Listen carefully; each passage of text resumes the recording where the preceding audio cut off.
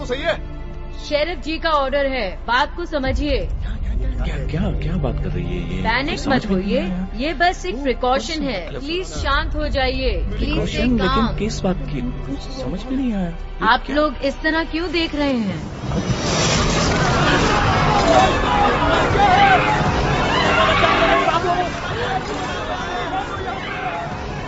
ये क्या था?